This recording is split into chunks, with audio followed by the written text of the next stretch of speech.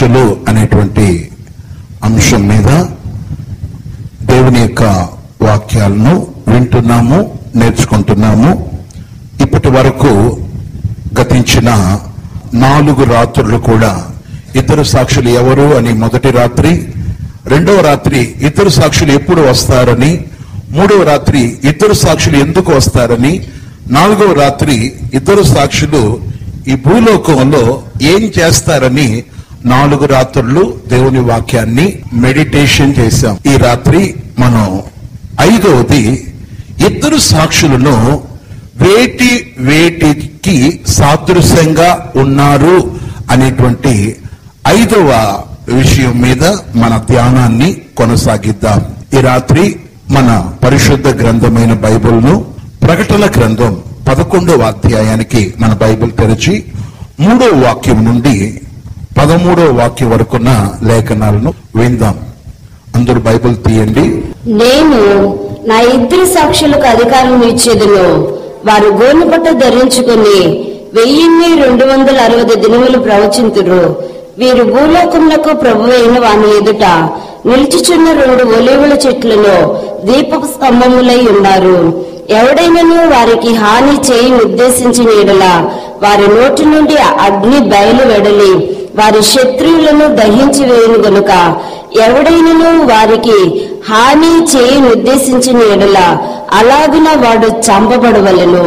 తాము ప్రవచింపు దినములు వర్షము కురవకుండా ఆకాశమును మూయుటకు వారికి అధికారం కలదు. మరియు వారికిష్టమైనప్పుడల్లా నీళ్ళు రక్తంగా చేయుటకును నానా విధములైన తెగుళ్ళతో భూమిని బాధించుటకును వారికి అధికారం కలదు. వారు సాక్ష్యం చెప్పుట ముగింపగానే అగాధంలో నుండి వచ్చు క్రూర ముఖం వారితో యుద్ధం చేసి జయించి వారిని చంపును. వారి శవములు ఆ మహాపట్టణపు సంత వీధిలో పడి ఉండును.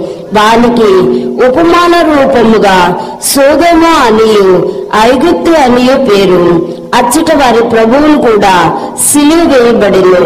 మరియు ప్రజలకును వంశములకును ఆయా భాషలు మాట్లాడు వారికి జనములకును సంబంధించిన వారు మూడు దినములున్నర వారి శవములను చూచుచు వారి శవములను సమాధిలో పెట్టనీయరు ఈ ఇద్దరు ప్రవక్తలు భూనివాసులను బా- బాధించినందున భూనివాసులు వారి గతి చూసి సంతోషించుచు ఉత్సాహించుచు ఒకరినొకడు కట్నములు పంపుకొందురు. అయితే ఆ మూడు దినములన్నరైన పెంబట దేవుని యుద్ధ నుండి జీవాత్మ వచ్చి వారిలో ప్రవేశించిన గనుక వారి పాదములు ఉని నిలిచిరి.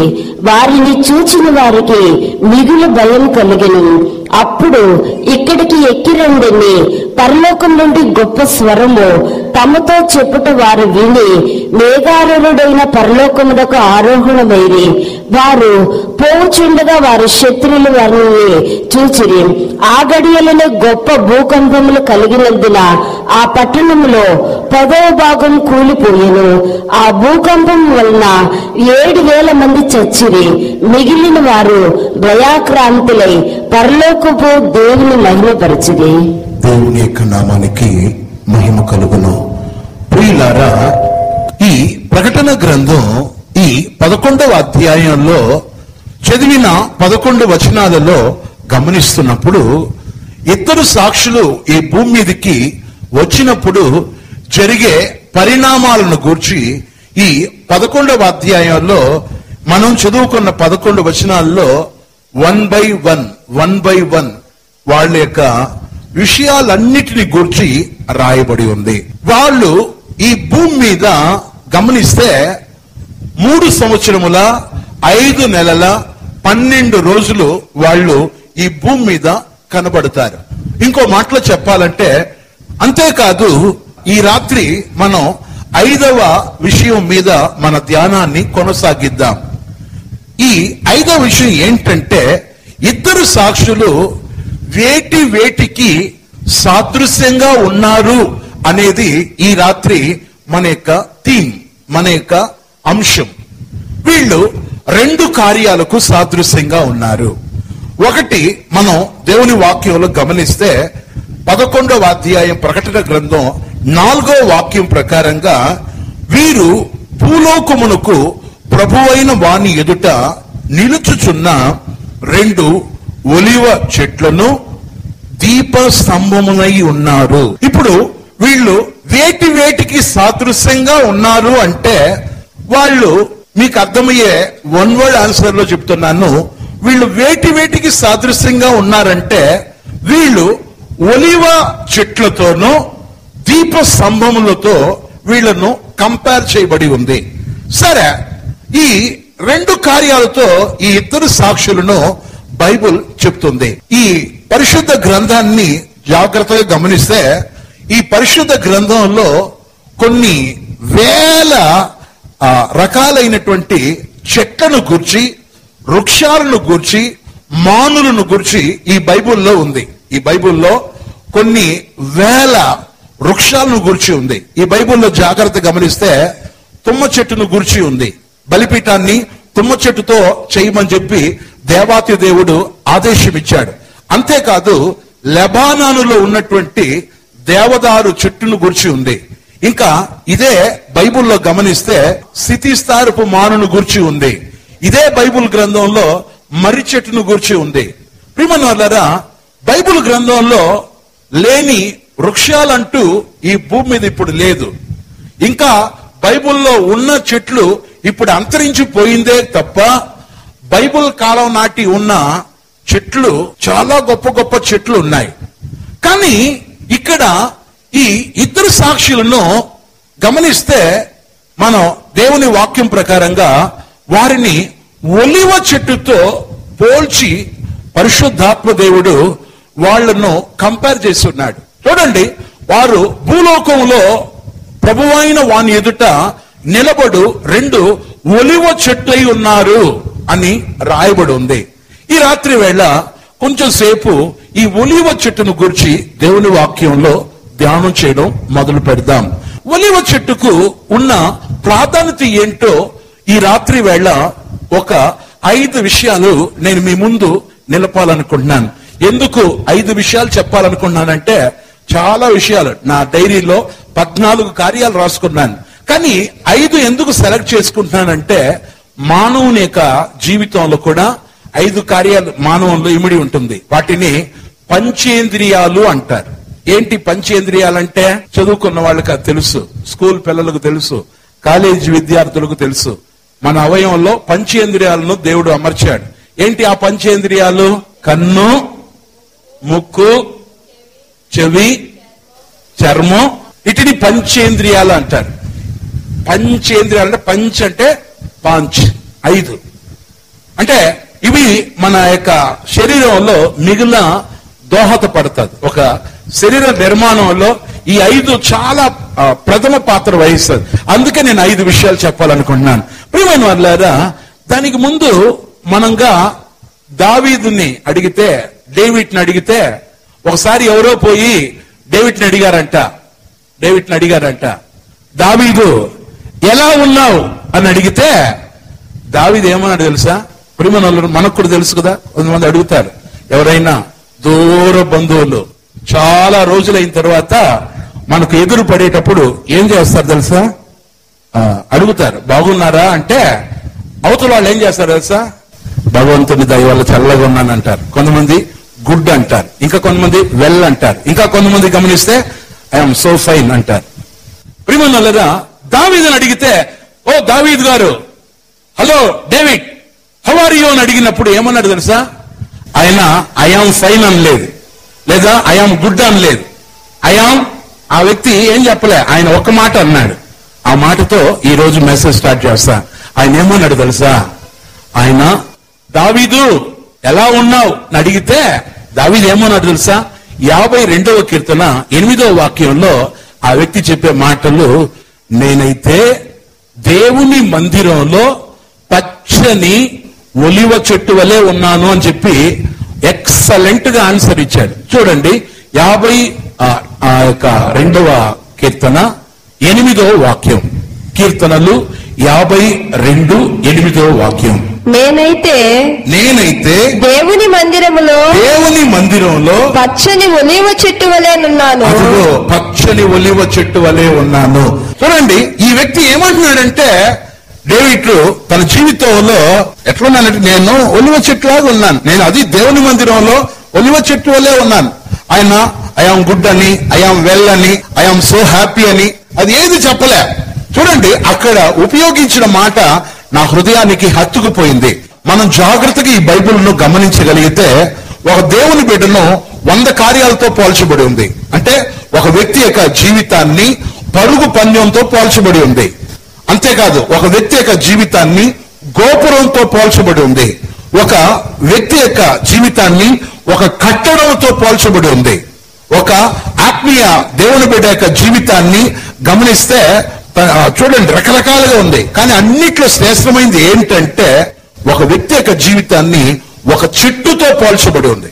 అది ఒలివ చెట్టుతో. ప్రియమైన వాళ్ళారా ఎందుకు చెట్టుతో పోల్చబడి ఉందంటే ఒకసారి యేసు ప్రభు ఒక గుడ్డివానికి ఒక అంధునికి ఆ, కన్ను రప్పించే సమయంలో ఆ వ్యక్తి అంధుడిగా ఉన్నాడు. అప్పటికి చూపు రాలేదు. అప్పుడు ఇతన్ని చూసి అడిగాడు. ఈ గుడ్డివాడిని చూసి ప్రభు అడిగారు ప్రభు అడిగితే అవునయ్యా నీకు ఇప్పుడు నేత్రాలు లేదు. నువ్వు గమనిస్తే అంధుడు నీకు ఏమైనా కనబడతా ఉందా అని చెప్పి అడిగితే ఆ వ్యక్తి ఏమన్నాడు తెలుసా? అక్కడ నాకు నచ్చిన మాట బైబిల్లో రాయబడి ఉంది. ఆ వ్యక్తి అంధుడు అతనికి కళ్ళు లేదు రెండు కళ్ళు లేదు. ఆ వ్యక్తిని అడిగితే ఆ వ్యక్తి దేవునితో చెప్పిన మాట ఏంటో తెలుసా? అయ్యా మనుషులు నాకు ఎట్లా కనబడుతున్నారు తెలుసా? చెట్ల వలె కనబడుతున్నారు అని చెప్పి ఆ వ్యక్తి అక్కడ కోట్ చేసి నాకు మనుషులు చెట్లను పోలిన వారై ప్రివన్ వాళ్ళారా ఎందుకు ఇక్కడ మానవుల యొక్క జీవితాన్ని చెట్టుతో పోల్చబడి ఉందంటే ప్రియమైన వాళ్ళారా ఈ చెట్టు అనేది ఆ, మానవుడు కూడా ఎక్కువ కాలం బతకాలని దేవుని యొక్క ప్రణాళిక. అంటే మనిషి యొక్క ఆయుష్కాలం దీర్ఘాయువుగా దేవుడిచ్చాడు. కానీ మానవుడు ఏం చేశాడంటే తన దీర్ఘాయువును కోల్పోయాడు. మనిషి యొక్క ఆయుష్కాలాన్ని గురించి అంటే వెయ్యేళ్ళ పరిపాలనప్పుడు గమనిస్తే వృక్షం ఎట్లా దీర్ఘాయువు కలిగి ఉంటుందో మనుషులు కూడా వెయ్యేళ్ళ పరిపాలన సమయంలో దీర్ఘాయువు కలిగి బతుకుతారంట. హలేలుయా ఆ వాక్యం పక్కన పెట్టేసండి. విన్న చెప్పబోతున్న వాక్యాన్ని వినండి చాలు. ఆ, అవసరానికి ఇంక పనికిరాదు కదా. ఇప్పుడు చూడండి ఇక్కడ ఈ ఇద్దరు సాక్షులను దేవుడు ఏమంటున్నాడంటే వీరు భూలోకంలో ప్రభువైన వాని ఎదుట నిలుచి ఉన్న రెండు ఒలివ చెట్టు అని చెప్పేసి రాయబడి ఉంది. ఒలివ చెట్లు గమనిస్తే చాలా గుణ స్వభావాలు ఉన్నాయి. నేను ఈ రాత్రి ఒక ఐదు విషయాలు చెప్తాను. ఒకటి ఒలివ చెట్టు అనేది మృత్యువు లేని చెట్టు. ఒలివ చెట్టు అనేది మృత్యువు లేని చెట్టు. నేను ఈ ఐదు విషయాలు చెప్పేస్తాను. ఆ తరువాత నేను ఉదాహరించడం మొదలు పెడతాను. ఇక రెండవది గమనిస్తే ఒలివ చెట్టులో ఉన్న గొప్పతనం ఏంటంటే సౌందర్యం కలిగిన చెట్టు. రెండవది సౌందర్యం కలిగిన చెట్టు. ఇది ఆ రెండవ విషయం. ఇక మూడవది గమనిస్తే ఒలివ చెట్టు తన కాయల వలన ప్రిమనులరా నూనె గానుగులో నల నలగొట్టబడి ఆ చెట్టు యొక్క కాయలు అనేది నూనె గానుగులో అది నలగొట్టబడుతుంది. ఇది మూడో విషయం. ఇక నాలుగవది నేనేం చెప్పవస్తున్నానంటే ఒలివ చెట్టు అనేది సారవంతమైన చెట్టు. ఒలివ చెట్టు నాలుగవది సారవంతమైన చెట్టు. ఐదవది ఒలివ చెట్టు గమనిస్తే తైల వృక్షము అని చెప్పి పిలువబడుతుంది. అంటే ఇది తైలాభిషేకపు యొక్క అనుభవానికి సాదృశ్యం. అందుకే దేవుడు వచ్చి ఆ ఇద్దరు సాక్షులను ఒలివ చెట్టుతో వాళ్ళు వేటి వేటికి సాదృశ్యంగా ఉన్నారు అంటే వాళ్ళు ఒకటి ఒలివ చెట్టులకు సాదృశ్యంగా ఉన్నారు. ప్రిమన్ వల్లరా ఇప్పుడు ఒక్కొక్క విషయాన్ని ధ్యానం చేద్దాం. మొట్టమొదట ఈ ఒలివ చెట్టును నేను మొదట ఒలివ చెట్టు గురించి ఏం చెప్తున్నానంటే ఇది మృత్యువు లేని చెట్టు. ఇంకో మాటలో మన భాషలో రాసుకోండి పక్కల బ్రాకెట్లో ఇది నాశనము కాని చెట్టు అని రాసుకోండి. మామూలుగా అయితే బైబిల్ పరిభాష ప్రకారం మృత్యువు లేని చెట్టు. అంటే మరణము లేని చెట్టు. మన భాషలో చెప్పాలంటే వేటి వలన నాశనము కాని చెట్టు. బైబిల్ గ్రంథంలో ఆది కాండం ఎనిమిదవ అధ్యాయం పదకొండవ వాక్యానికి గా మనం వెళ్ళగలిగితే దేవుడు ఆ రోజు ఆ యొక్క నోవాహుతో కొన్ని విషయాలు చెప్పాడు. ఏంటి ఆ విషయాలంటే ఓ నవాహు నీవు స్థితిస్థారపు మానుతో ఒక ఓడను నిర్మించి దానికి పూర్తిగా కీలు పుయ్యి అంతేకాదు ఆ పాపం పెరిగిపోవటం వల్ల నేను ఇప్పుడు ఉన్నటువంటి ఈ జనరేషన్ను నేను జల ప్రళయం రప్పించి ఈ ప్రపంచాన్ని నేను తుడిచిపెట్టేటట్టు చేయబోతున్నాను. సమూలన నాశనం చేసేస్తాను. ఈ తరములో నీవు నా ఎదుట నీతిమంతుడవై ఉన్నావు. నీవు నా ఎదుట కృప పొందిన వాడవై ఉన్నావు. నీవు దయ కలిగి నీవు దయ పొందావు కాబట్టి ఇదిగో నువ్వు ఒక ఓడను నిర్మించు అని చెప్పాడు. బైబిల్లో ఉన్నట్టు చెప్తున్నాను.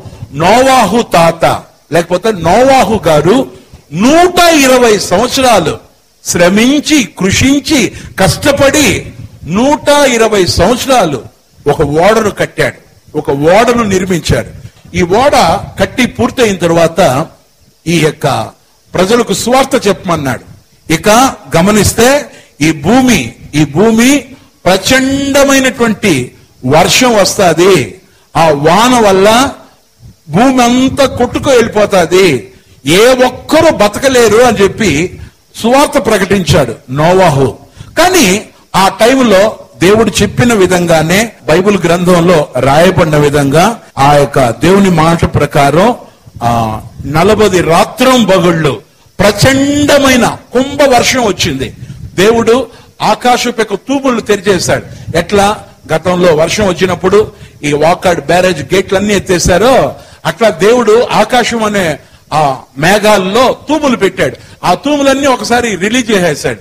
ఒక్కసారి ఆ వాన ప్రచండంగా భూమి మీద పడింది. బైబిల్లో ఉన్నట్టు చెప్తున్నాను రాత్రం బగుళ్ళు నలభది రాత్రి నలభది పగుళ్ళు వాన పడ్డం మొదలైంది. క్రైస్తవ ఒక మూవీ ఉంది ఒక సినిమా ఉంది the ark of the Noah అని చెప్పి. దాంట్లో కళ్ళకు కట్టేటట్లు ఆ సినిమా యొక్క నిర్మాత ఆ యొక్క ప్రొడ్యూసర్ చాలా అందంగా సినిమాను రూపుదిద్దారు. టైంలో ఎలా ప్రజలు ఆ మొదటి రోజు వాన వస్తే అరికాలంత వచ్చింది. రెండో రోజుకు మోకాళ్ళ వరకు వెళ్ళింది. నాలుగో రోజుకు నడుము లోతు వచ్చింది. భుజం వరకు వచ్చింది ఆ మరుసటి రోజు. ప్రేమనల్లదా ఆ తర్వాత తర్వాత నీళ్ళు పెరిగిపోతా ఉంటే అందరు ఇళ్ళ కప్పు పైకి ఎక్కారు ఇంటి పై కప్పుకి ఎక్కారు అయినా వాన పెరుగుతా ఉంది. ఉన్నట్లుండి చెట్లు ఎక్కేశారు. తాడి చెట్లు ఎక్కేశారు. అయినా నీళ్ళు పెరిగిపోతా ఉంది. ఎక్కడ తలదాచుకోలేని పరిస్థితుల్లో ఈదుతూ ఈదుతూ ఎంతసేపు ఈదగలరు? బైబిల్లో ఉన్నట్టు చెప్తున్నాను నలభై రాత్రులు నలభై పగుళ్ళు ప్రచండమైన వాన. ఈ టైంలో గమనిస్తే చాలా మంది భూమి మీద ఉన్నటువంటి బరిగొడ్లన్నీ చనిపోయినాయి. భూమి మీద ఉన్న మృగాలన్నీ చనిపోయావు. ఆకాశ పక్షులన్నీ చనిపోయాయి. ఇక చెట్లే మునిగిపోయినప్పుడు ఇంకా గూడ్లు ఎక్కడా? ఆకాశం అంతా భూమి అంతా జలబ జల దిగ్బంధం అయిపోయింది. ఇటువంటి టైంలో గమనిస్తే నోవాహు అతనితో పాటు ఏడుగురు మొత్తం ఎనిమిది మంది ఓడల్లో ఉన్నారు. దేవుడే ఓడ తలుపులు ఆ యొక్క కిటికీలు వేసేశాడు. దేవుడే ఓడ తలుపులు మూసేశాడు. ఎందుకు దేవుడు మూసాడంటే నోవాహ ఒకవేళ తలుపులు మూస్తుంటే రిక్వెస్ట్గా ప్రజలు అడిగేవాళ్ళు అయ్యా అయ్యా నువ్వు చెప్పినప్పుడు నేను మేము వినలేదు సువార్త సారీ అయ్యా ఒకసారి క్షమించు ఒకసారి నీ తలుపు తీయ్యా నేను లోపలికి వస్తానని చెప్పి ఒకవేళ ప్రజలు నోవాహు వేసి ఉంటే ఎట్లో కాళ్ళలో వేళ్ళ పడి అడిగి లోపలికి వచ్చి ఉంటారు. కానీ ఆ తలుపు వేసింది ఎవరు చెప్పండి? ఆ దేవాతి దేవుడు. సరే ఇట్లా భూమి మీద గమనించినట్టయితే దేవుని వాక్యంలో ఉన్న విధంగా ఇంచుమించు రాత్రం పగులు దగ్గర దగ్గర నలభై రాత్రులు నలభై పగులని చెప్పబడుతుంది. బైబుల్ ప్రకారంగా ఒక నూట యాభై రోజులు భూమి మీద నీళ్ళు స్టాక్ అయింది. ఇలా ఉన్నప్పుడు భూమి ఎక్కడ లేదు. ఏ ఇళ్ళు లేదు. ఏ టవర్లు లేదు. అన్ని అంతా కూలి కుప్ప కూలి చెట్లు గిట్లు వాగులు వర వరదలై పొంగి అన్ని స్మాష్ అయిపోయింది.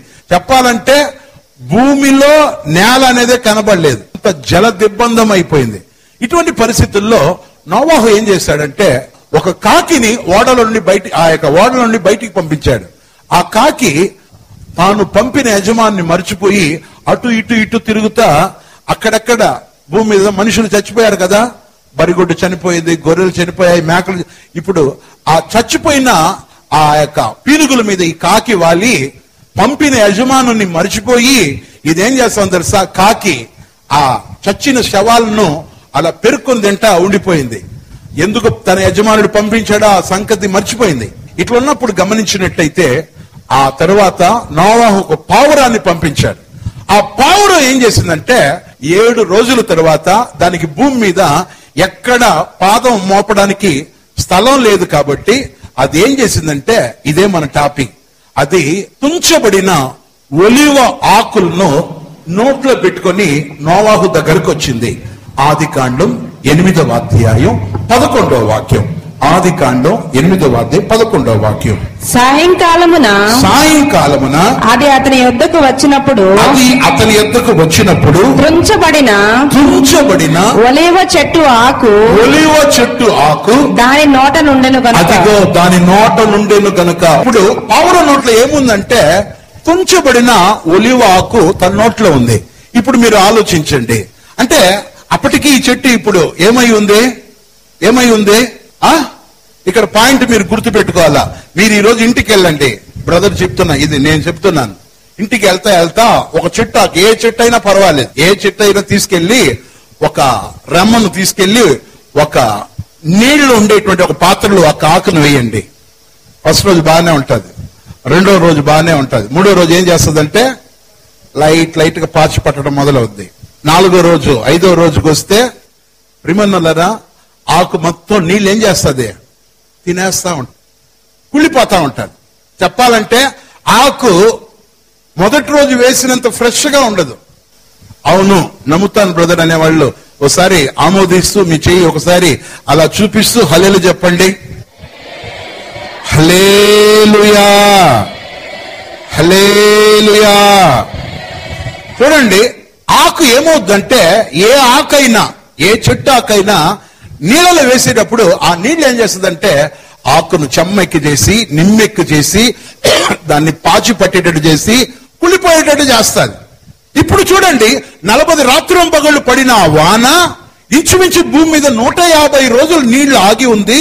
ఈ టైంలో గమనిస్తే పావురం ఎక్కడ తన అరికాలు మోపడానికి స్థలం లేకపోవటం వల్ల అది ఆ యొక్క తుంచబడిన ఒలివ ఆకు నోట్లో పట్టుకొచ్చింది. ఆకు పచ్చగా ఉండి ఉంది. ఆకు ఎట్లా ఉంది చెప్పండి? పచ్చ. ఎట్లా ఇది సాధ్యం? ఇది ఎలా ఇది సాధ్యం అంటే ప్రియమనులరా అదే ఒలివ చెట్టు కొండే గొప్పతనం. ఎందుకంటే ఒలివ చెట్టు ఏ చెట్టు చెప్పండి? ఈ రోజు రాత్రి మొదటి అంశంలో ఒలివ చెట్టు ఏం చెట్టు చెప్పండి? మృత్యువు లేని చెట్టు అది పాడైపోలేదు అది పతనమైపోలేదు అది కుళ్ళిపోలేదు అది వాడిపోలేదు అది ఇక ఫ్రెష్ గానే ఉంది. భూమి మీద ఏ ఆకు అలా ఉండదు ఇంపాసిబుల్ ఎందుకంటే అన్ని ఆకు కుళ్ళిపోతాయి అది బూజు పట్టిపోతాది చెమ్మెక్కిపోద్ది అది క్రమక్రమేణా అలా పాచి పట్టిపోతాది. కానీ ఒలివ చెట్టు మాత్రం ఎప్పుడు పచ్చగా ఉంది. అంటే నేనేం చెప్తున్నానంటే ఇది మృత్యువు లేని చెట్టు. భూమి మీద అన్ని చెట్లు కుళ్ళిపోయి ఉంటున్నాయి. భూమి మీద ఉన్న అన్ని చెట్లు అలా వర్షపు యొక్క దెబ్బకు నీళ్ళు నిలబట్టడం వల్ల అంత గందరగోళం అయిపోతే ఈ ఒలివ ఆకు మాత్రం పచ్చగా. చెప్పాలంటే కళకళలాడుతూ కనబడింది. అందుకే దేవుని సేవకులు కూడా సంఘ బిడ్డలను ఆశీర్వదించేటప్పుడు ఒక మాట చెప్తారు. ఏంటంటే నూట ఇరవై ఎనిమిదవ కీర్తన నాలుగు ఐదు వాక్యాల్లో నీ భోజనపు బల్ల చుట్టూ నీ పిల్లలు పచ్చని ఒలివ మొక్క వలె ఉందురు అని చెప్పి ఏం చేస్తారంటే పుట్టినరోజు కావచ్చు లేక- లేకపోతే వేరే శుభ సందర్భాలు కావచ్చు స్కూళ్ళకు పంపించేటప్పుడు కానీ లేకపోతే ఇంకొక ఇంకొక సందర్భాలు వచ్చేటప్పుడు నూట ఇరవై ఎనిమిదవ కీర్తన నాలుగు ఐదు వాక్యాలను బట్టి దేవుని యొక్క సేవకులు పిల్లల యొక్క పిల్లలను ఆశీర్వదిస్తారు. చూడండి ఆ మాట ఈ విధంగా రాయబడి ఉంది. దేవుని వాక్యం? నీ లోగిట. నీ భార్య నీ లోగిట నీ భార్య ఫలించు ద్రాక్షవల్లి వలె నుండు ఫలించే ద్రాక్ష వల్లి వలె ఉండును. నీ భోజనపు బల్ల చుట్టూ నీ భోజనపు బల్ల చుట్టూ నీ పిల్లలు నీ పిల్లలు ఒలివ మొక్కల వలె నుందురు ఇదిగో ఒలివ మొక్కల వలె ఉంటారు. ఒలివ మొక్క పచ్చదనంతో ఉన్నట్లు కలకల్లాడుతారు నీ పిల్లలు అని చెప్పి దాని యొక్క అర్థం. సరే అప్పుడు నేను మొదట ఏం చెప్తున్నానంటే ప్రిమన్ వాళ్ళారా దేవుని వాక్యంలో ఉన్న విధంగా గమనిస్తే ఈ ఒలివ చెట్టు అనేది పచ్చగా ఉంటుంది. అంతేకాదు ఇది మృత్యువు లేని చెట్టు. అట్లా రాసుకోండి. అందుకే ఇర్మియా గ్రంథం పదకొండు పదహారులో రాయబడి ఉంటుంది. దేవుడు తన బిడలకు ఒక పేరు పెడతా అన్నాడు. ఆ పేరు ఏంటంటే ఇర్మియా గ్రంథం పదకొండు పదహారు. పదకొండు పదహారు. Jeremiah chapter eleven verse sixteen పదకొండవ అధ్యాయం ఇర్మియా గ్రంథం పదహారవ వాక్యం. అది. చక్కని ఫలము గల అది చక్కని ఫలము గల పచ్చని ఒలివ చెట్టని అదిగో పచ్చని ఒలివ చెట్టని యెహోవా నీకు పేరు పెట్టెను. అదిగో యెహోవానికి పేరు పెడుతున్నాడు. చూడండి అంటే నేనేం చెప్తున్నా అంటే అది పచ్చగా ఉంటది. ఎప్పుడు కూడా పచ్చగా. అన్ని రోజులు భూమి మీద నీళ్ళు స్టాక్ అయిపోయి ఉన్నా స్టోర్ అయి ఉన్నా అయినా ఈ చెట్టు మాత్రం కుళ్ళిపోలేదు. ఇది ఒలివ చెట్టును గురించిన మొదటి విషయం. ఇక రెండో విషయానికి వెళ్ళిపోదాం. రెండవది గమనిస్తే ఓషియా గ్రంథం పద్నాలుగవ అధ్యాయం ఆరో వాక్యం ప్రకారంగా ఒలివ చెట్టు అనేది సౌందర్యం గల చెట్టు అని రాయబడి ఉంది. చూద్దాం దేవుని మాట. అందరూ తీయండి. ఓషియా గ్రంథం పద్నాలుగవ అధ్యాయం ఆరవ వాక్యం. పేజీ నంబర్ ఏడు వందల యాభై ఒకటి. అతని కొమ్మలు అతని కొమ్ములు విశాలముగా పెరుగును. విశాలముగా పెరుగును. ఒలివ చెట్టునకు ఒలివ చెట్టునకు కలిగినంత సౌందర్యము. అదిగో కలిగినంత సౌందర్యము అతనికి కలుగును. అతనికి కలుగును. అండర్లైన్ చేసుకోండి? ఆరో వాక్యాన్ని అక్కడ రాయబడి ఉంది. అతని కొమ్ములు విశాలంగా పెరుగును. ఒలివ చెట్టునకు కలిగినంత సౌందర్యం అతనికి కలుగును అని చెప్పి ఉంది. అంటే ఒలివ చెట్టు సౌందర్యం కలిగిన చెట్టు. ఒలివ చెట్టు అనేది సౌందర్యం కలిగిన చెట్టు. దేవుని నామానికి మహిమ కలుగును. ప్రియమన్నారా చూడండి. అంటే ఒలివ చెట్టు సౌందర్యంగా ఉంటది. ఒలివ చెట్టు సౌందర్యంగా దేవుని యొక్క నామం మహిమపరచబడును. చూడండి ఈ రోజు భూమి మీద గమనించినట్లయితే అందరూ ఏ బాధపడతారు తెలుసా? ప్రతి ఒక్కరు. అద్దం ముందు నిలబడేటప్పుడల్లా ఒక్కొక్కరు ఒక్కొక్క రీతిగా ఆలోచిస్తారు. ఏమనుకుంటారు తెలుసా? నేను ఎందుకు అంత ఆ, అంత వికారంగా పుట్టాను? నేను తెల్లగా లేను. నేను బక్క చిక్కిపోయి ఉన్నాను. అందరు అందుకే అంటున్నారు నాకు రెండు కేజీలు కండ కూడా లేదంటున్నారు నా ముఖం బాగలేదు ముక్కు బాగలేదు కళ్ళు బాగలేదు నోరు బాగలేదు పెదాలు బాగలేదు అని చెప్పి ఇట్లా అనుకుంటారు. కాదు దేవుడు మనిషిని పుట్టించేటప్పుడు దేవుడు మంచి అందమైన వాణ్ణిగా పుట్టించాడు. కానీ ఎప్పుడైతే మానవుడు పాపం చేస్తాడో ఎప్పుడైతే దేవుని మార్గాన్ని తొలగిపోయారో వాళ్ళు సౌందర్యాన్ని కోల్పోతారు. మనిషి యొక్క జీవితంలో బాగా సౌందర్యంగా ఉండాలని ఏం చేస్తున్నారంటే రకరకాలైనటువంటి క్రీమ్లు బ్యూటీ పార్లర్కి వెళ్ళడం ఇక అందంగా వెంట్రుకలను ఇక కత్తిరించుకోవడం ఇంకా ఐబ్రోస్ బాగా పెట్టుకోవడం ఇక రకరకాలుగా చేస్తున్నారు. కానీ వీటన్నిటికంటే దేవుడు ఒక వ్యక్తిని న్యాచురల్గా పుట్టిస్తే ఆ వ్యక్తి సౌందర్యంగా ఉంటాడు. అందుకే బైబిల్లో ఒక మాట రాయబడి ఉంటుంది. సామెతల గ్రంథంలో ఆ మాట ఉంటుంది. సామెతల గ్రంథం ముప్పై ఒకటి ముప్పై వాక్యం చదవగలిగితే అందము మోసకరమని సౌందర్యం వ్యర్థమని చెప్పి దేవుని వాక్యంలో రాయబడి ఉంది. చూడండి దేవుని మాటగా చెప్తున్నాను. సామెతలు ముప్పై ఒకటి ముప్పై. అందము మోసకరము. అందము మోసకరము. సౌందర్యము వ్యర్థము. అదిగో సౌందర్యము వ్యర్థము. చూడండి ఇక్కడ రెండు మాట ఉంది. ఒకటి పరమ జ్ఞాని చెప్పేటప్పుడు అందము అనే ఒక మాట చెప్తున్నాడు. రెండోది సౌందర్యం అనేటువంటి ఒక మాట చెప్తున్నాడు. దీనికి ఉండే ఆ డిఫరెంట్ ఏంటో తెలుసా? అందం అనేది దేవుడు పుట్టించేటప్పుడు మనకు పెట్టాడు. చూడండి మళ్ళా చెప్తున్నాను. అందం అనేది దేవుడిచ్చింది.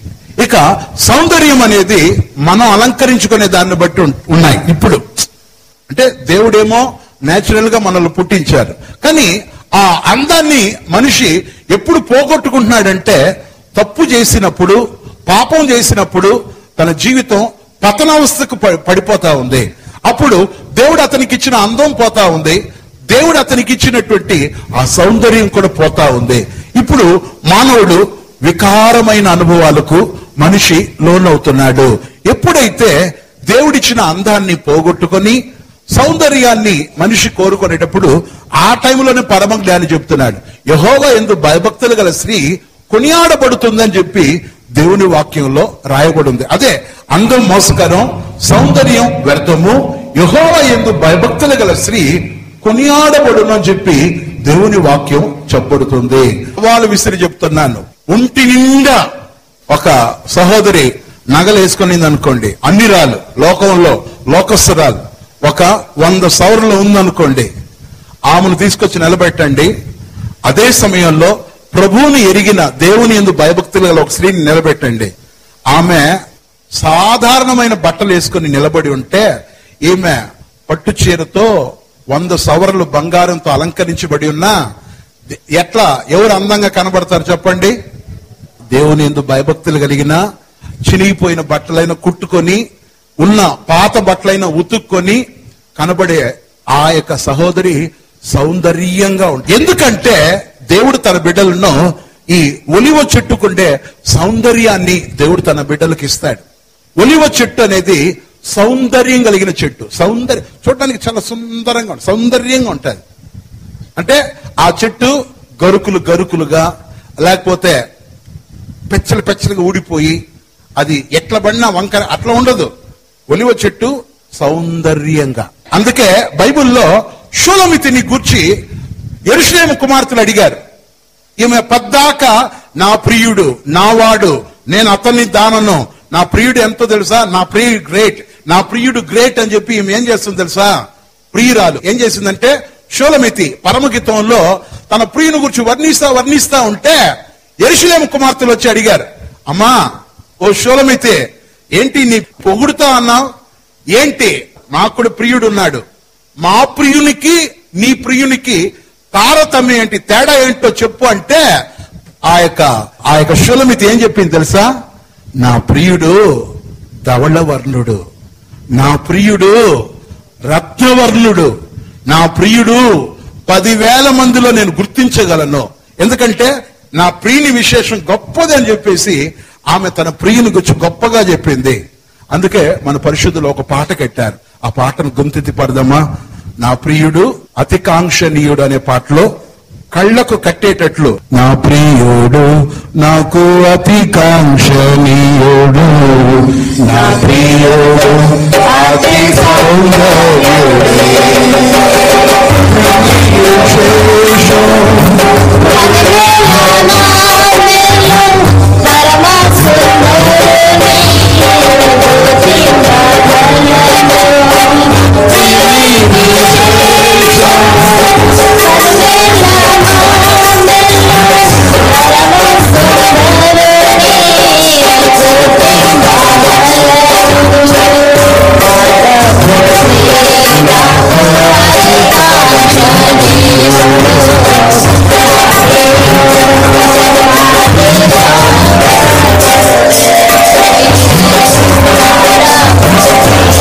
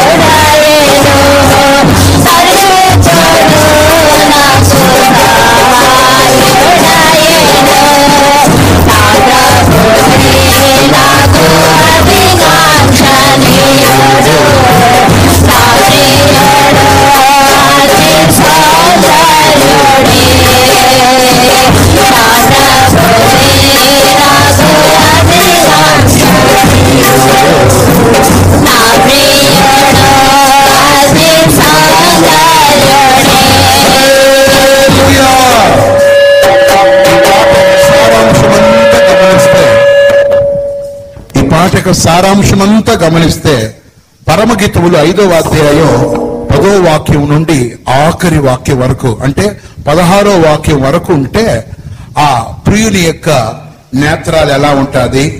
ఇక అతని యొక్క కరములు అతని యొక్క నోరు అతని యొక్క ఆ యొక్క సౌందర్యాన్ని గురించి వర్ణనాతీతంగా ఆమె షూలమితి తన ప్రియుని యొక్క విశేషమంతా చెప్తా ఉంది.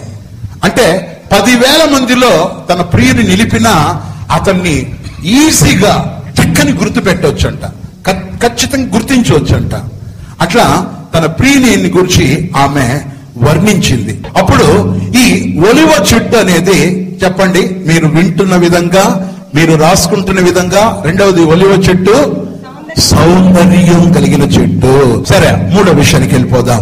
మూడవది గమనిస్తే అభిమనులన ఉలివ చెట్టు అనేది తన యొక్క కాయల వల్ల ఆ కాయలను తీసుకెళ్ళి గానుగులు వేసినప్పుడు అది నలగొట్టబడుతుంది. నలగొట్టబడి ఒక నూనెగా మారుతుంది.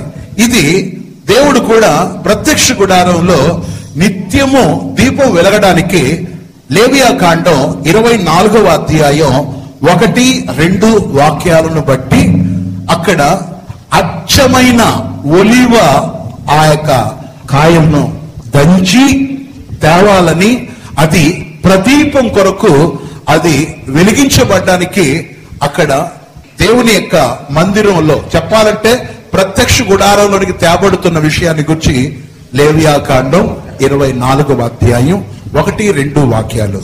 మరియు యెహ- యెహోవా మోషేకు ఈలాగు సెలవిచ్చెను. దీపము దీపము నిత్యము వెలుగుచుండునట్లు. నిత్యము వెలుగుచుండునట్లు. ప్రదీపము కొరకు. ప్రదీపము కొరకు దంచి తీసిన దంచి తీసిన అచ్చమైన ఒలీవ నూనెను. అదిగో ఏ నూనంట? అచ్చమైన ఒరిజినల్ ఒలివ నూనెను. తేవలనని కేవలనని ఇస్రాయేలీయులకు ఆజ్ఞాపించు అదిగో దేవునికి స్తోత్రం. హల్లేలుయా. ఈ ఒలివ ఆ యొక్క చెట్టుకు కాసే కాయల వల్ల ఆ కాయలను ఇప్పుడు ఏమవుతుందంటే గానుగ యొక్క మార్గంలో వెళుతుంది. మనకు తెలుసు ఏ నూనె అయినా బయటికి రావాలంటే అది వేటి గుండా వెళ్ళాలా? ఇప్పుడు ఏ నూనె దంపించాలన్నా ఏ నూనె ఆడించాలన్నా అది ఏం చేయాలంటే ప్రిమనులరా పూర్వకాలాల్లో గానుగులు వేసి తిప్పుతారు. అప్పుడు నూనె సపరేట్ అయిపోద్ది ఆ యొక్క మిగిలిన ఆ వ్యర్థ పదార్థాలు. అవి పక్కకు అది పక్కకు వెళ్ళిపోద్ది. నమ్మే వాళ్ళు ఒకసారి హలను చెప్పండి. ఇప్పుడు దేవుని యొక్క మందిరంలో ఆ దీపం వెలగడానికి దంచి తేబడిన అచ్చమైన ఒరిజినల్ ఒలివ నూనె తెమ్మని చెప్పి దేవుడు మోషే ద్వారా తన ప్రజలకు ఆదేశం ఇచ్చారు ఇక్కడ నేనేం చెప్పవస్తున్నానంటే ఇప్పుడు ఆ యొక్క ఒలివ చెట్టు యొక్క కాయలు ఇప్పుడు ఏమవుతుందంటే నలగొట్టబడతా ఉంటది. ఏమవుతుంది చెప్పండి? నూనె ఊరికనే రాదు. నూనె ఊరికే రాదు. నూనె రావాలంటే ఏమవ్వాలి ఇప్పుడు? ఆ? చెప్పండి చెప్పండి. మీరు వింటున్నది కరెక్టే. నూనె ఇప్పుడు ఏమవ్వాలా? నూనె రావాలంటే గానుగులో నలగ కొట్టబడడం అనేది దేనితో పోలుస్తున్నానంటే నేను స్పిరిచువల్గా చెప్తున్నాను. నలగ కొట్టబడడం అనేది శ్రమల మార్గంలో వెళ్ళడం. నలగ కొట్టబడాల. ఒక విశ్వాసి అయినా ఒక సేవకుడైనా నలగ కొట్టబడాల. ఇప్పుడు మీకు నేను చెప్తున్నాను. ఏం చెప్తున్నానంటే ఒక దేవుని బిడ్డ శ్రమల మార్గంలో వెళ్ళేటప్పుడు ఆ శ్రమలు చిన్న చితక కాదు. దేవుని యొక్క ముందు ఈ బలిపీఠం మీద నిలబడి దేవుని వాక్యాన్ని మీతో చెప్తున్న నేను ఏదో బైబిల్ ఇలా సంకలో పెట్టుకోవటం వల్ల ఇలా మైక్ దొరికిందని చెప్పేసి నేను మైక్ పట్టుకోవటం వల్ల బ్రదర్ కాలేదు లేదా పాస్టర్ కాలేదు. నేను ఒక సేవకుడు అవ్వడానికి ఎన్ని మార్గాల్లో వెళ్ళానో అది దేవునికి తెలుసు. ఎందుకు చెప్తున్నానంటే మన క్రైస్తవ మార్గం శ్రమల మార్గం. మన మార్గం ఏ మార్గం చెప్పండి? శ్రమల మార్గం. అంటే ఈ ఒలివ ఆ యొక్క కాయలను తీసుకెళ్ళి గానుగలో వేసేటప్పుడు ఆ గానుగ ఏం చేస్తుంది? చెప్పండి గానుగ. ఇప్పుడైతే మిషన్లు వచ్చేస్తాయిలే. పూర్వ కాలాల్లో మన తాత ముత్తాతల కాలాల్లో ఏం చేస్తారు? ఆ? చుట్టూ పశువును తిప్పిస్తూ ఉంటారు. అవునా కదా? ఇప్పుడైతే మోటార్లు వచ్చేసినాయి. అప్పుడు ఆ గింజలు ఆ ఆ ఒలివ కాయలన్నీ దాంట్లో వేసినప్పుడు ఏమో వల్ల పట్ట పట్ట పట్ట పట్ట పట్ట పట్ట పట్ట పట్ట పట్ట పట్ట పట్ట పట్ట పట్ట పట్ట అలా నలగ కొట్టేటప్పుడు ఏమవుతుంది? బా బా బా. ఆ కాయలన్నీ నుజ్జు నుజ్జు అయిపోద్ది.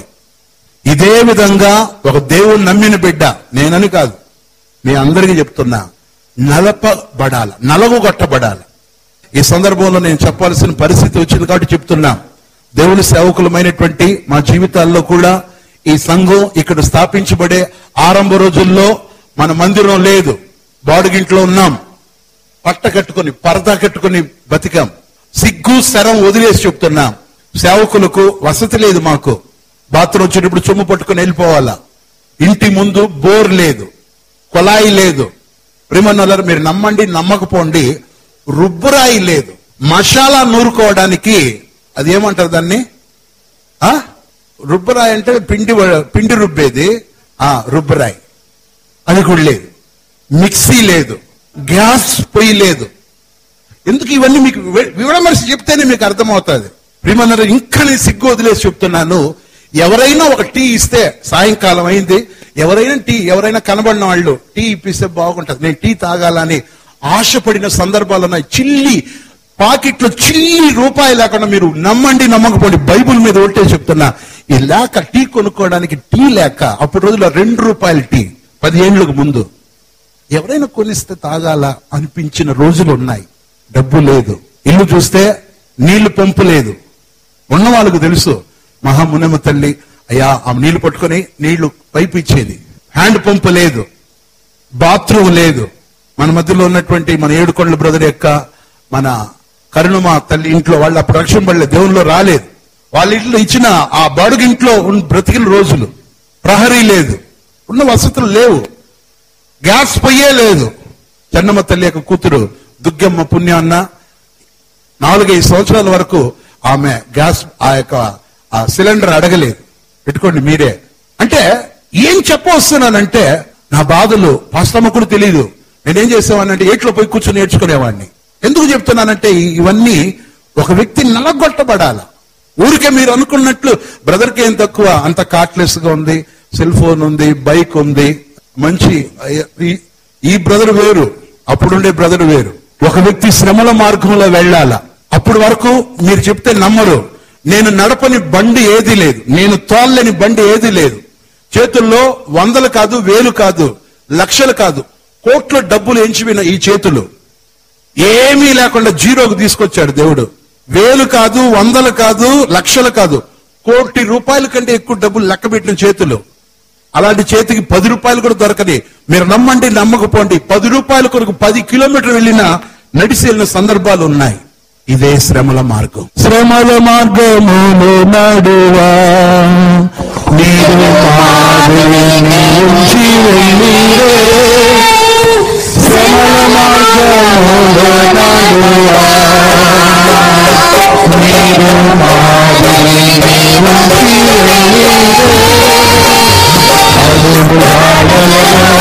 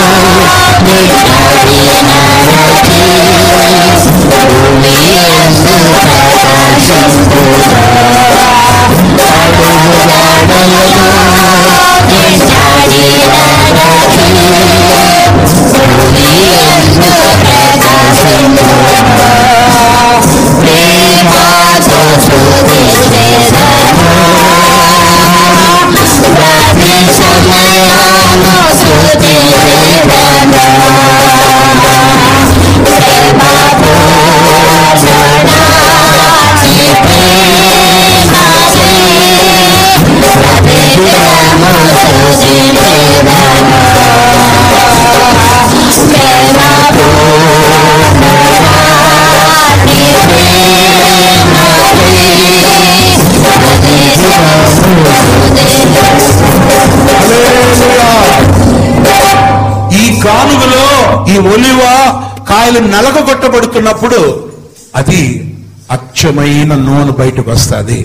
ఈ నలగొట్టబడడం అనేది గమనిస్తే ఇది శ్రమల మార్గం.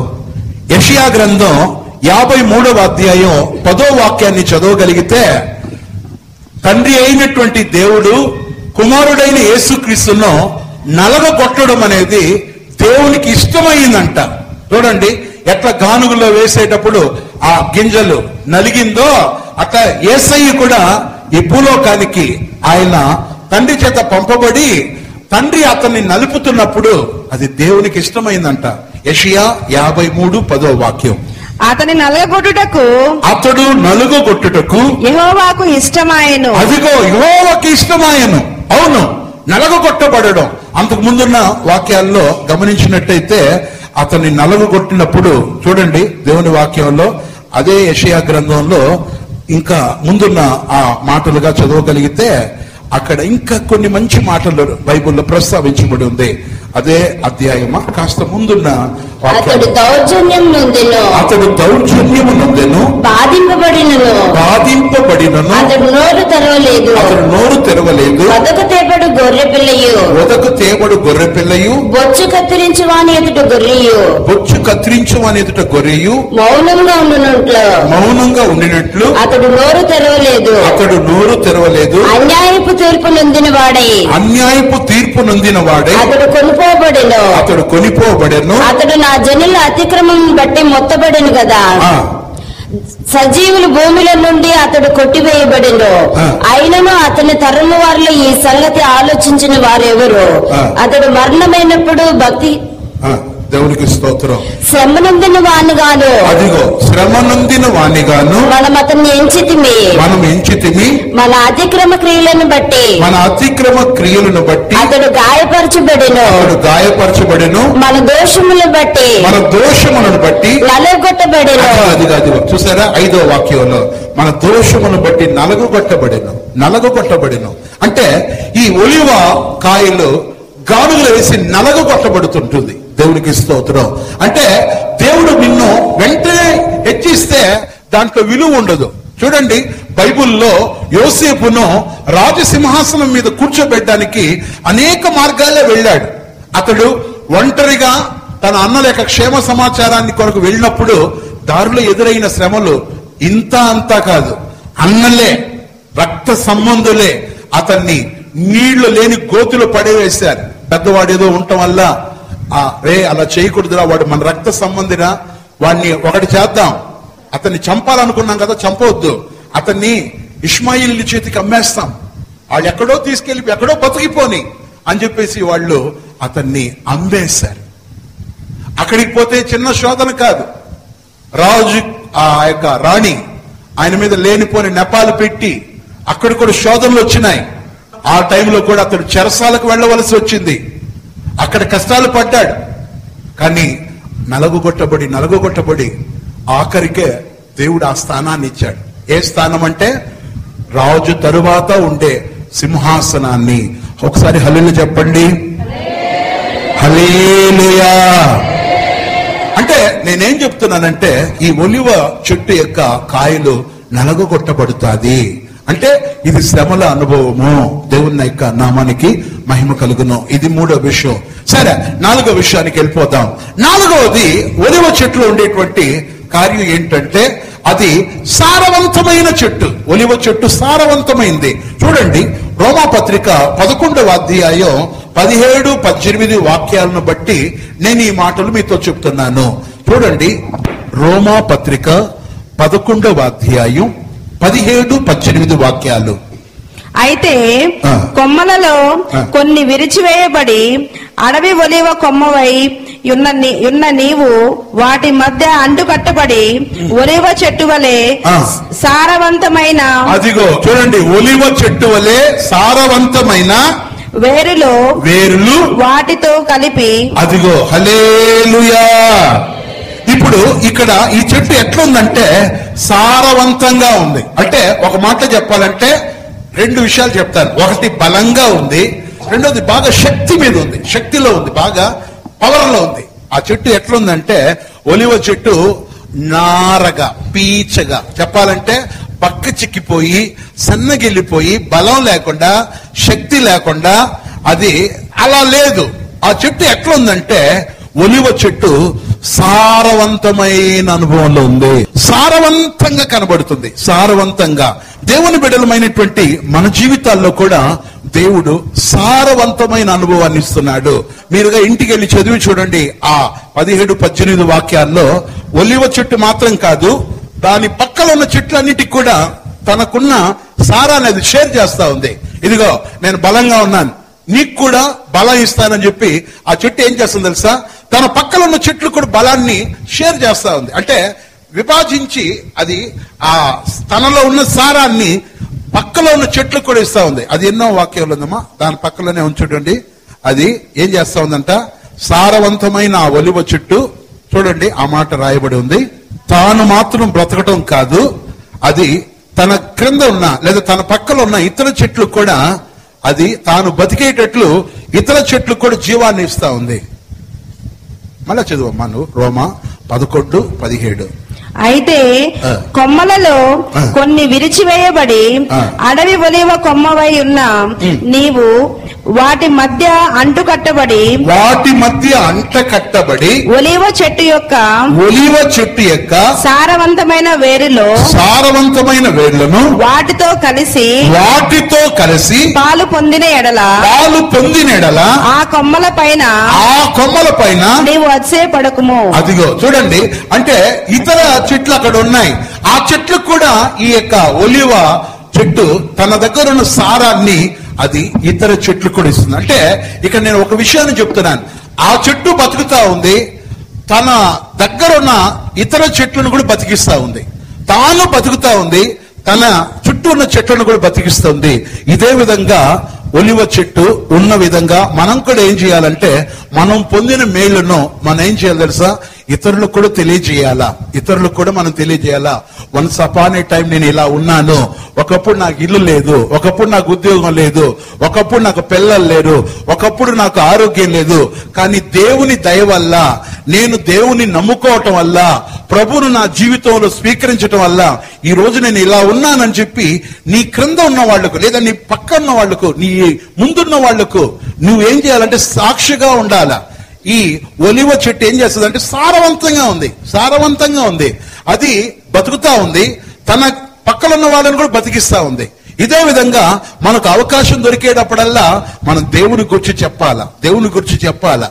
ఇప్పుడు నాకు దేవుని కృపను బట్టి ఒక సంఘం గురించి నాకు తెలుస్తా ఉంది. ఆ సంఘంలో ఆ బ్రదర్ని పిలిచే అంత శక్తి మా దగ్గర లేదని చెప్పి వాళ్ళు మూడు సంవత్సరాల నుండి నా కొరకు ట్రై చేశారంట.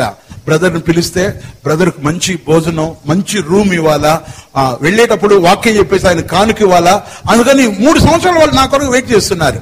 ఒకరోజు వాళ్ళు వచ్చి అడిగిన సందర్భం చూసి నా కళ్ళల్లో అలా నీళ్ళు కారి నేనేం చేశానంటే ఆ మీటింగ్కి ఎంత ఖర్చైనా నేను పెట్టుకుంటానని చెప్పి పాంప్లెట్స్ నేనే ప్రింట్ చేశాను. మైక్ సెట్ అంతా నేనే తీసుకెళ్ళిపోయినా దేవుని వాక్యం చెప్పిన తర్వాత ఆ సంఘాన్ని కొంచెం బలపరిచాం.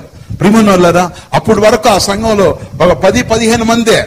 కానీ దేవుని కృపను బట్టి మూడు రోజులు మీటింగ్ పెట్టాం. దేవుని కృపను బట్టి ప్రిమనుల ఆ మీటింగ్ అంతా దేవుడు గొప్పగా మార్చి జనులకు వాక్యం అందించాడు. మూడు రాత్రులు అద్భుతమైన వాక్యం చెప్పాడు. మొదటి రా- రోజు రాత్రి ఆ ప్రిమనుల పాతాల లోకాన్ని గురించి మొదటి రాత్రి వాక్యం చెప్పాడు దేవుడు. రెండవ రోజు భూలోకాన్ని గురించి వాక్యం చెప్పాడు. మూడో రోజు పరలోక రాజు పరలోకాన్ని గురించి పరలోకాన్ని గురించి చెప్పాడు మూడవ రాత్రి. ఈ మూడు రాత్రులు మూడు ప్రసంగాలు విన్నారు. ప్రియమనోలరా దగ్గర దగ్గర ఒక ఆ, ఎనిమిది మంది బాప్తీసం తీసుకున్నారు. ఎనిమిది మంది పోయి ఇంకా కొంతమందికి తెలియజేశారు. ప్రియమనోలరా అట్లా అట్లా అట్లా ఈ రోజు ఆ చర్చి దగ్గర దగ్గర రెండు వందల యాభై మందికి పైబడి మార్చబడింది.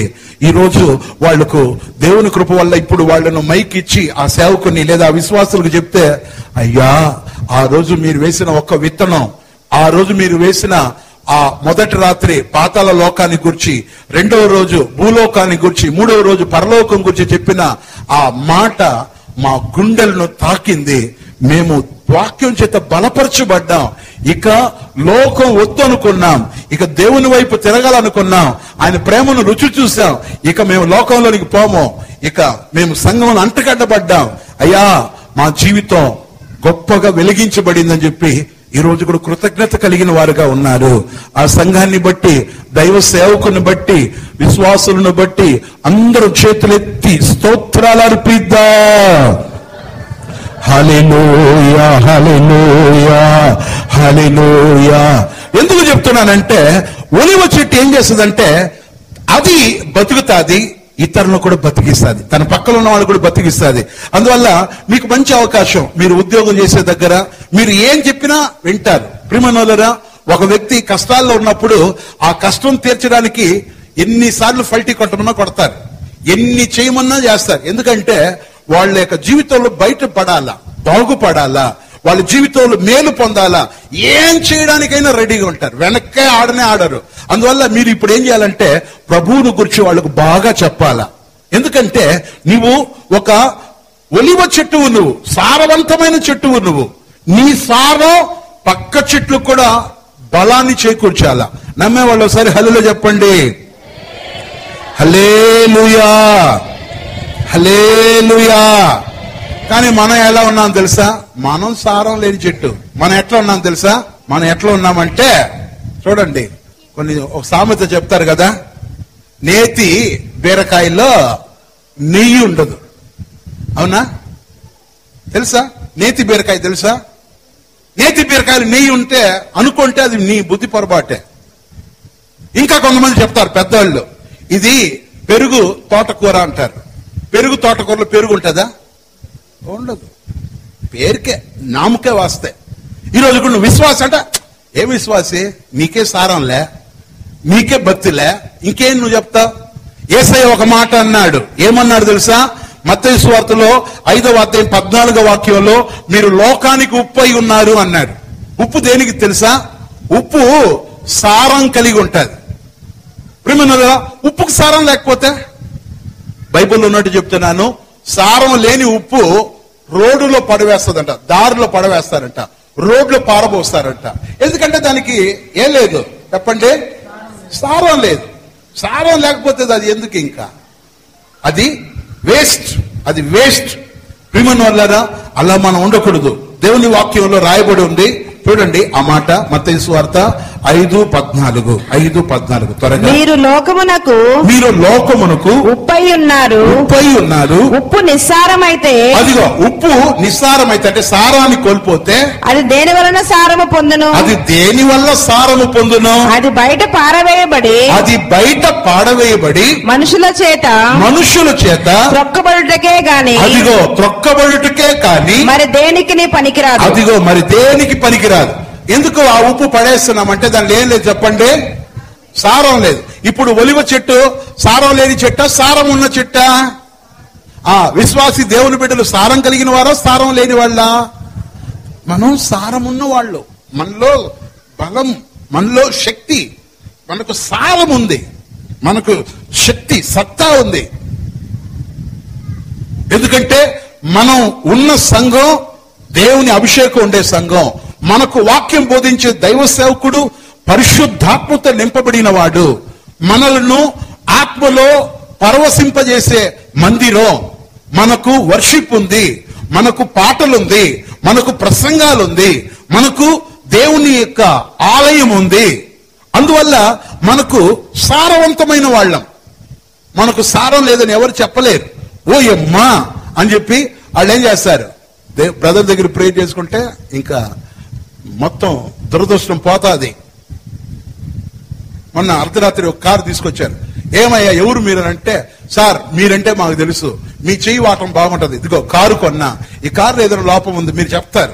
మీరు చెప్తారు కాబట్టి తీసుకొచ్చాం. ప్రేర్ చేయండి. ఎందుకు చెప్తున్నానంటే మనల్ని దేవుడు సారవంతమైన వాళ్ళగా పెట్టాడు. సేవకుడై కావచ్చు సేవకురాలే కావచ్చు విశ్వాసే కావచ్చు కొత్త వాళ్ళే కావచ్చు. దేవుని మందిరంలో అడుగు పెట్టేటప్పుడు మనల్ని సారవంతంగా మారుస్తాడు. ఇప్పుడు ఈ ఫోన్ ఉంది. ఈ ఫోన్ తీసుకెళ్ళి కరెంటుకు కనెక్ట్ చేసేసి చార్జర్ దీనికి కనెక్ట్ చేస్తే చార్జ్ ఎక్కుతుందా చార్జ్ ఎక్కదా? మళ్ళా చెప్తున్నాను. ఈ ఫోన్ తీసుకెళ్ళి ఆ ఛార్జింగ్ ఆ యొక్క పోర్ట్లో తీసుకెళ్ళి చార్జర్ దీనికి అటాచ్ చేసేసి స్విచ్ ఆన్ చేస్తే దీనికి కరెంటు ఛార్జ్ అవుద్దా లేదా? ఛార్జ్ అవుద్ది. ఒకసారి హల్లులో చెప్పండి. హలేలుయా ప్రియమనులారా, ఈ ఛార్జింగ్ పోర్ట్లోనే మనం ఉన్నాం. ఈ ఛార్జింగ్ ఫిల్లింగ్ స్టేషన్లో మనం ఉన్నాం. ఈ ఫిల్లింగ్ స్టేషన్ దేవుని ఆలయం. మనం ఎప్పుడెప్పుడు బుధవారం శనివారం ఆదివారాలు దేవుని పాదాల దగ్గర సమకూడతామో చార్జ్ అయిపోతా ఉంటాం. మనల్ని దేవుడు సారవంతమైన చెట్టుగా మార్చాడు. ఇప్పుడు చెప్పండి ఒలివ చెట్టు ఎట్లాంటి చెట్టు చెప్పండి?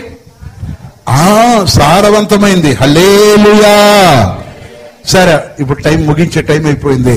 ఇక ప్రియమైన వాళ్ళారా ఐదో విషయానికి వెళ్ళిపోతాను. ఐదవది ఒలివ చెట్టుకు ఉండేటువంటి ఐదవ గుణం ఏంటంటే యషయా గ్రంథం నలభై ఒకటి ఇరవయో వాక్యంలో ఉన్నట్లు ఒలివ చెట్టుకు ఒక పేరు ఉందన్నమాట. ఏంటి ఆ పేరు చూడండి. మీకే అక్కడ తారసపడుతుంది. చూడండి యషయా గ్రంథం నలభై ఒకటి ఇరవై. నలభై ఒకటి ఇరవై. నేను నేను అరణ్యములో అరణ్యంలో దేవదార వృక్షమును దేవదారు వృక్షమును తుమ్మ చెట్లను తుమ్మ చెట్లలో గొంజి చెట్లను గుంజి చెట్లలో తైల వృక్షమును అదిగో తైల వృక్షమును అండర్లైన్ చేయండి. తైల వృక్షం అని చెప్పేటువంటి ఆ పదం దగ్గర ఒలివ చెట్టు అని హీబ్రూ భాషలో ఉంది. ఒకసారి హల్లులో చెప్పండి.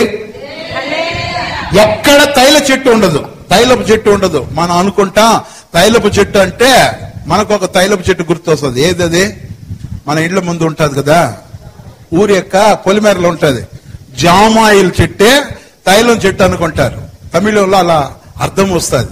కాదు ఇక్కడ తైలపు చెట్టు అనేది తైలపు వృక్షం అనేది ఒలివ చెట్టు. మీకు క్లారిటీ ఇవ్వడానికి ఇలా చెప్తున్నాను. ఒకసారి న్యాయాధిపతుల గ్రంథం తొమ్మిదవ అధ్యాయం తొమ్మిదవ వాక్యానికి వెళ్తే అక్కడ ఆ ఒలివ చెట్టును పోయి మా మీద రాజుగా ఉండడానికి పెర్తనం చేయమని రమ్మని చెప్పి ఒలివ చెట్టును అడిగారు. చూడండి చెట్లన్నీ పోయి ఒలివ చెట్టును అడుగుతాది. ఏమడుగుతా తెలుసా? చూడండి మీకే అర్థమవుద్ది. న్యాయాధిపతుల గ్రంథం తొమ్మిదవ అధ్యాయం తొమ్మిదవ వాక్యం. మమ్మును ఏలుమని మమ్మను ఏలుమని ఒలివ చెట్టును అడుగగా. ఒలివ చెట్టును అడగగా. ఒలివ చెట్టు. ఒలివ చెట్టు. ఒలివ చెట్టు ఏం మాట్లాడుతుంది వినండి. ఒలివ చెట్టు దేవునిని దేవునిని మానవులను మానవులను దేని వలన దేని వలన నరులు సన్మానించుదురో నరులు సన్మానించుదురో? ఆ నా తైలము అదిగో ఆ నా తైలము నియ్యక ఆ, నా తైలము నియ్యక ఆ నా తైలమును ఇవ్వక మాని మాని చెట్ల మీద చెట్ల మీద రాజునయుండి రాజునై ఉండి ఇటు అటు ఇటు అటు ఊగుటకు ఊగుటకు నేను వచ్చేదనా? ఆ నేను వచ్చేదనా? ప్రిమన్నోలరా అది ఒక రౌండ్ టేబుల్ సమావేశం జరిగింది. అంటే చెట్లన్నీ మాట్లాడుకున్నాయి. ఏం మాట్లాడుకున్నాయి తెలుసా? మనకు ఒక రాజు కావాలా? భూమి మీద గమనిస్తే ప్రతి జంతువులకు ఒక రాజు ఉన్నాడు. భూమి మీద గమనించినట్టయితే ఒక్కొక్క దేశానికి ఒక నాయకుడు ఉంటారు. ఒక్కొక్క కమిటీలో ఒక్కొక్క మెంబర్ ఉంటారు. ఏంటి? మన చెట్ల జాతికి మనుషులు గొప్పవాళ్ళు ఎవరు లేరా పెద్ద లేరా మనకు మంత్రి లేదా? మనకు ఆ, రాజు లేడా అని చెప్పి చెట్లన్నీ కూడా ఒకరోజు మాట్లాడుకున్నాయి. ఏం మాట్లాడుకున్నాయి తెలుసా? రండి పోదాం. మనం పోయి ఒలివ చెట్టును అడుగుదాం. చాలా చెట్లు అడిగారు. అక్కడ వాళ్ళు వాళ్ళు ఎట్లాలా చెప్పారు. మీరు అధ్యాయం అంతా చదివి చూడండి. ఏకంగా ఒలివ చెట్టు దగ్గరకు వచ్చినప్పుడు ఏమని తెలుసా? ఒలివ చెట్టు ఒలివ చెట్టు మా మీద నువ్వు రాజుగా ఉండాలా అని చెప్పి అడిగితే ఇదేం చేసిందే?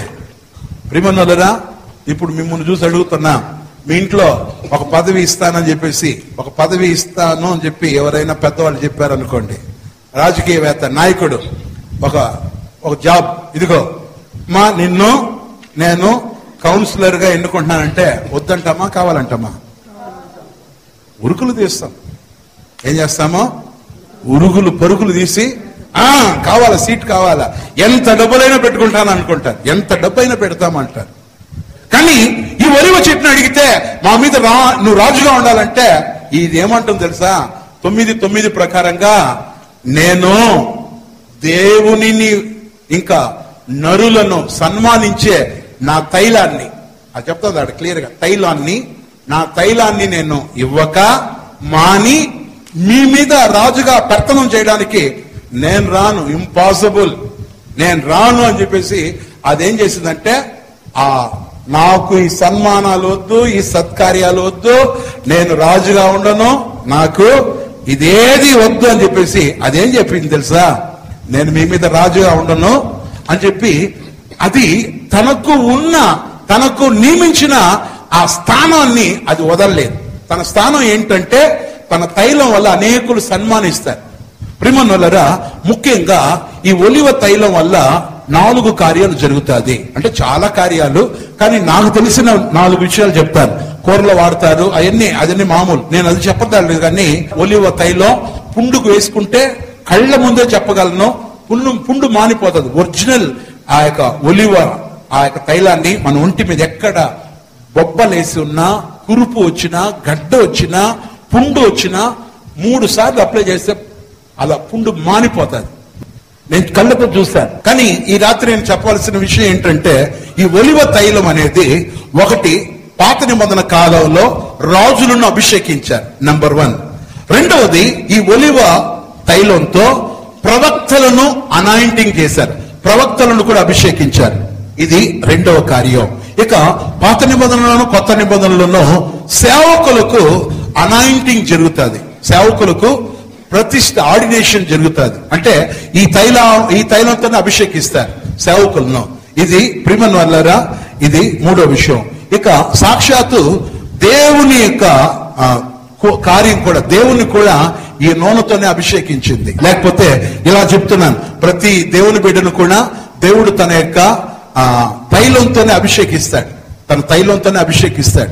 అంటే బైబిల్లో ఉన్నట్లు అది ఆహరోను గడ్డమలద మీద పోయబడి అంచుల వరకు దిగజారుచున్న పరిమళ తైలం అని ఉంటారు రాజులను ఈ యొక్క తైలం వృక్షపు యొక్క తైలంతోనే అభిషేకిస్తారు. ప్రవక్తలను కూడా ఇక సేవకులను కూడా ఇక దేవుని బిడ్డలను కూడా ఈ యొక్క ఒలివ ఆ యొక్క తైలంతోనే అభిషేకిస్తారు. తైలం లేకపోతే దీపం మారిపోతాది తైలం లేకపోతే చీకటి వస్తుంది. తైలం లేకపోతే ప్రభు రాకడలో మనం చేయి విడవబడతాం. మళ్ళా చెప్తున్నాను. మూడు కార్యాలు. ఒకటి తైలం లేకపోతే అంటే తైలం అంటే నూనె లేకపోతే ప్రిమన్నలలో దీపం మారిపోతుంది రెండవది తైలం లేకపోతే నూనె లేకపోతే చీకటి వస్తుంది. చీకటి. అంధకారం.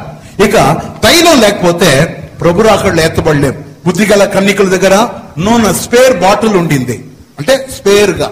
అంటే ప్రత్యేకంగా వాళ్ళు దివిటీల్లో నూనె ఉంది అదే సమయంలో బుట్టిల్లో కూడా నూనె తీసుకెళ్ళారు అందువల్ల ఆ యొక్క పెళ్ళి కుమారుడు ఆలస్యం అవటం వల్ల దీప ఆ యొక్క ఆ యొక్క ఆ బుడ్డిలో ఉన్న నూనె అంతా అయిపోయింది. దీపంలో ఉన్న ఆ దీపపు బుడ్డిలో ఉన్న నూనె అంతా అయిపోయింది.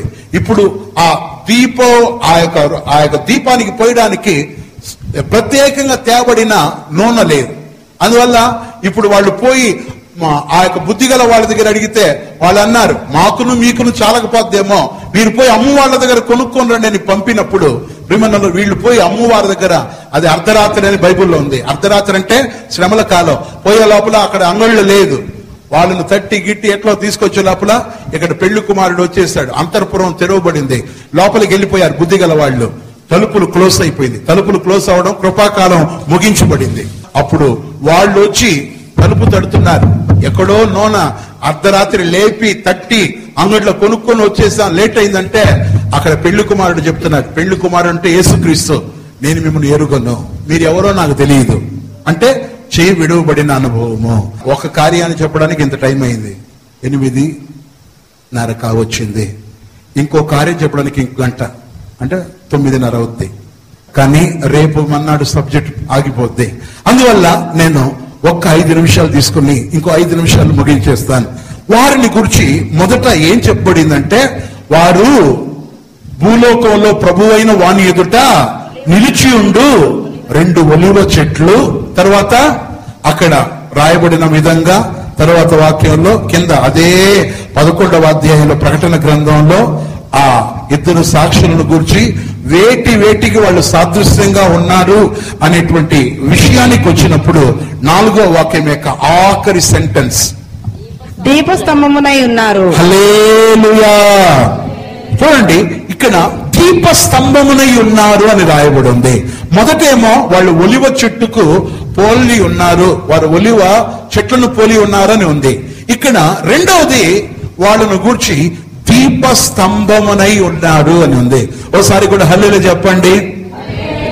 హలేలుయా ఈ దీప స్తంభం అనేది గమనిస్తే నేను వన్ వర్డ్ ఆన్సర్ మాత్రం చెప్తాను. అన్ని చెప్పి నేను మిమ్మల్ని గలిబిలి చేయలేను కానీ ఒకే వన్ వర్డ్ చెప్పి నేను ముగించేస్తాను.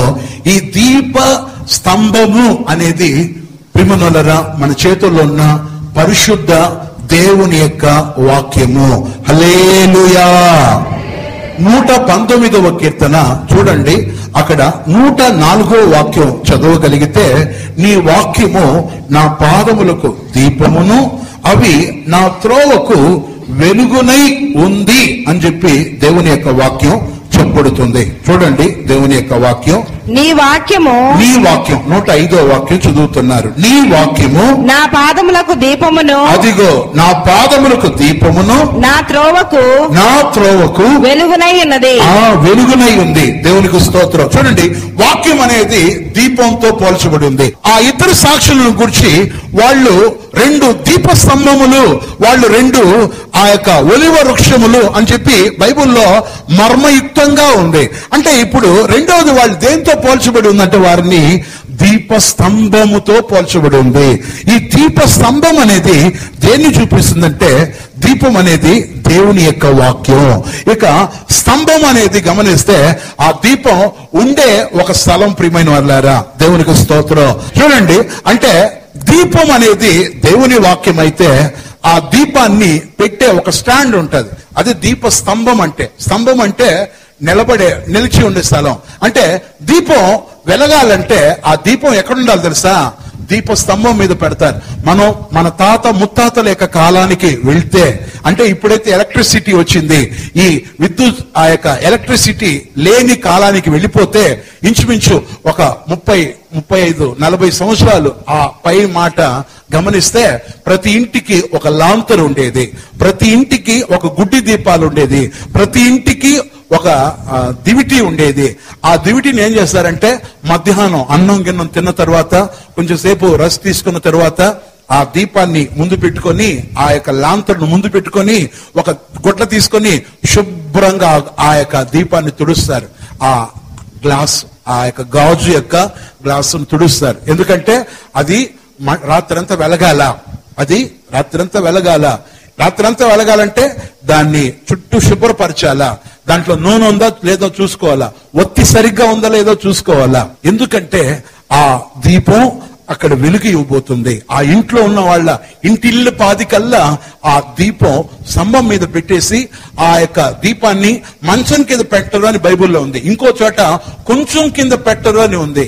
అది ఇంటినున్న వారందరికీ కాంతి ఇవ్వడానికి దీప స్తంభం మీద పెడతారు. అన్ని వివరంగా చెప్పడానికి చాలా వన్ అవర్ సబ్జెక్ట్ ఉంది. కానీ నేను ఒకే మాట చెప్పి ఎండ్ చేస్తున్నాను. దీప స్తంభమునై ఉన్నారు. ఆ దీప స్తంభం ఏమవ్వాలి తెలుసా? ఇంటిల్ల వారి పాదికి అది ఒక చోటగా ఉండాలి. అది నేను దేంతో పోల్చి చెప్తున్నానంటే మన కుటుంబ ప్రార్థన అనుభవము. లేదా మన సంఘంలో ఇలా కూడుకొని చేసే ప్రార్థన. అంటే దీపం అనేది దేవుని వాక్యం. నేను కాదన్నో. ఆ దీపాన్ని మనం ఏం చేయాలి తెలుసా? సరిగ్గా వెలిగించవలసిన చోట వెలిగించాల? దీపాన్ని వెలిగించవలసిన చోట వెలిగేయాల? బైబిల్ ప్రకారంగా ఒక దీపం ఆరిపోవడానికి నాలుగు బలమైన కారణాలు ఉన్నాయి మళ్ళా చెప్తున్నాను. ఒక దీపం ఆరిపోవడానికి బలమైన నాలుగు కార- కారణాలు ఉన్నాయి ఆ నాలుగు కారణాలు ఏంటో తెలుసా? మీరు ఎవరైనా చెప్పగలరా? దీపం ఆరిపోవడానికి ఆ, నాలుగు కారణాలు ఉన్నాయి మొదటి కారణం ఏంటో చెప్పమంటారా? దీపం ఆరిపోవడానికి గమనిస్తే గాలి వీచేటప్పుడు దీపం ఎలగదు. చూడండి అందుకే పెద్దవాళ్ళు ఒక మాట చెప్తారు. గాల్లో దీపం పెట్టి దేవుడా అంటే వెలుగుతుందా? వెలగదు. అంటే ఒక వ్యక్తి యొక్క జీవితంలో బలమైన సుడిగాలి వచ్చేటప్పుడు బలమైన పెనుగాలి వీచేటప్పుడు ఆ వ్యక్తి ఎలగలేడు మీరు చూడండి ఇప్పుడు మన శుద్ధీకరణ కూటం ఎన్నో కూటం ఇది? తొమ్మిదో కూటంలో ఉన్నాం. దేవుని మహాకృపను బట్టి ఇంకో ఐదు కోటాలు ఉన్నాయి. అదే కదా? ఆ కానీ ఈ కోటాలు రాని వాళ్ళందరూ ఉన్నారు. ఎందుకంటే వాళ్ళ మీద ఏదో బలమైన గాలి వీస్తా ఉంది. ఆ దీపం వెలగకుండా వాళ్ళ మీద ఏదో గాలి ఆ ఏ గాలో పెనుగాలో సుడిగాలో బైబిల్ పరంగా ఏడు గాలులు ఉన్నాయి. బైబిల్ ప్రకారంగా ఏడు గాలులు ఉన్నాయి. సుడిగాలి ఇంకా పెనుగాలి ప్రియమైన ఉత్తరపు గాలి దక్షిణపు యొక్క గాలి ప్రియమనులరా వడగాలి. ఏదో గాలి వీచడం వల్ల ఆ దీపం ఈరోజు దేవుని సన్నిధిలో వెలగకుండా ఆరిపోయి ఎక్కడో ఉన్నారు.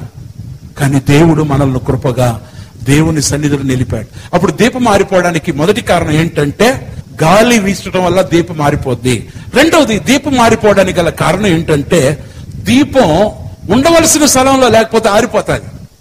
గాల్లో పెట్టేసి దీపాన్ని అయ్యా వెలగాల వెలగాలంటే కుదరదు. దానికి ఎక్కడ దాన్ని పెట్టాలనో అక్కడ పెట్టాల? లేదా తీసుకెళ్ళి మంచం కింద పెట్టేస్తే అక్కడ దానికి ఏం లేకపోతే గాలే ఆగిపోద్ది దీపం మారిపోద్ది. ఇక్కడ సైన్స్ చదువుకున్న వాళ్ళు ఉన్నారు. ఎందుకు మంచం కింద దీపం వెలగదు? ఎందుకు కప్పెట్టేస్తే ఎందుకు దీపం వెలగదు? ఆ, ఆక్సిజన్. చెప్పండి మీరు చెప్పేది కరెక్టే. అది ఉండవలసిన స్థలం అది కాదు. దానికి సరైన గాలి వాటం లేదు. ఇంకో చెప్పాలంటే అది వెలకడానికి అనుకూలత లేదు. అక్కడ ప్రతికూలం ఉంది. అనుకూలం లేదు. అంటే ఉండవలసిన స్థలంలో దీపం లేకపోతే ఆరిపోద్ది. అన్ని వివరించడానికి అన్ని వాక్యాధారాలు చూపిస్తా. కానీ టైం లేదు. మూడవది చెప్పండి. మూడవది దీపం మారిపోవడానికి కారణం ఏంటంటే దీపానికి వత్తి సరిగ్గా లేకపోతే లేకపోతే వత్తికి ఆ ఏమంటారు దాన్ని? నల్లగా.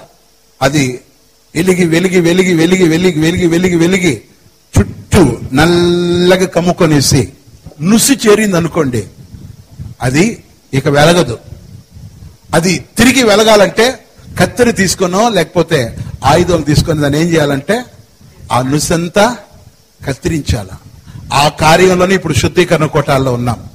మనలో మనం వెలిగి వెలిగి మన కార్యాలు ఏదేదైతే ఆ ఆ యొక్క మకమకలాడుతుంటే ఆ మకమకలాడే జనపనారవర్తిని ఆర్పని దేవుని దగ్గర మనం సరి చేసుకుంటున్నాం మూడవది వత్తి సరిగ్గా లేకపోతే దీపం మారిపోద్ది నాలుగవది ఇంపార్టెంట్ విషయం నూనె లేకపోతే దీపం మారిపోద్ది ఆ నూనె ఏదో కాదు అది పరిశుద్ధాత్మ యొక్క అభిషేకం.